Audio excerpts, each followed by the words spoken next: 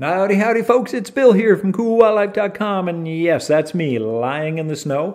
We had our first very big snowstorm here in Canada today, and the lakes are just starting to freeze over, so it makes a very natural floe edge uh, for the otter. They're out eating fish and doing things, and I captured some otter shots today, but what I want to bring to you today is a video of an otter that I captured. It's calling for its family. I think it's a younger otter from this year, but the call is so unique. I've just never heard it before, and I think you're going to enjoy it. So stay tuned. Ah.